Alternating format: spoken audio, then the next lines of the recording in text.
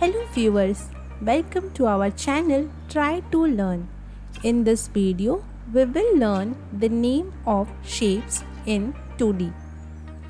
If you find this video helpful, please hit the like button and for more such videos, consider subscribing to our channel Try to Learn.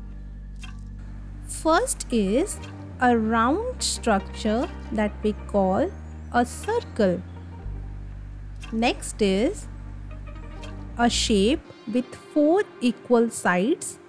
It is called a square. Next is the shape with three sides which can be equal or unequal. It is called a triangle. Next is a shape with four sides in which two opposite sides are equal in length. It is called a rectangle. Next shape is like a shape of an egg.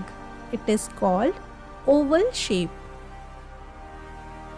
Next is a shape with four sides in which two sides are parallel to each other. It is called a rhombus.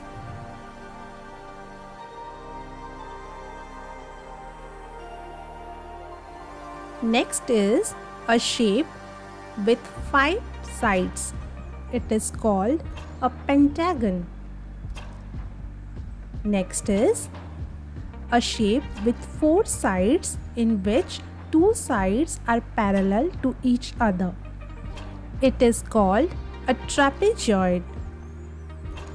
Next is the shape of a star. Next is the shape of a heart.